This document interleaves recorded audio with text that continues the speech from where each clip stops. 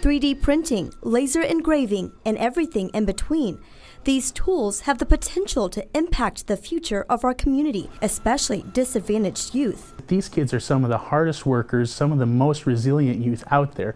If you give them the ability to excel, they're going to blow your mind. Jim Clements founded the Made New Makerspace near 144th and S. It goes through what we call our strong work ethics program.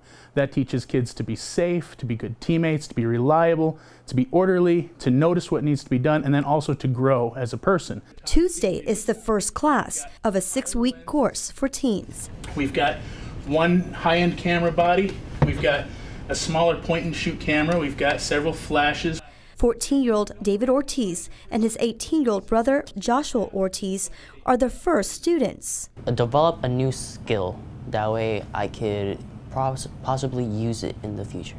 The boys moved to Omaha after evacuating Puerto Rico following Hurricane Maria. It was kind of hard, you know, living through it. Joshua has special needs, but he also has dreams. What do you want to do after high school? Oh, uh, to start making movies. Clement says there are more than 1,000 youth in Omaha that could have their lives changed by this program but they need more mentors. To apply for a membership, scholarship, volunteer, or donate, go to madenewomaha.com. Near 144th and S, Chindon, KETV, Newswatch 7.